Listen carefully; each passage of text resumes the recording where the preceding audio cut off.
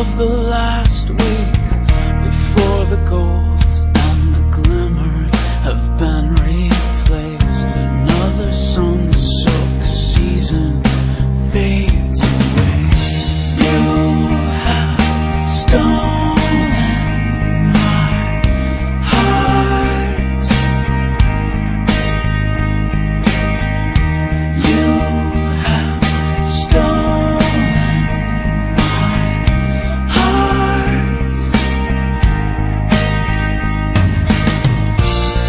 invitation on the grand farewells.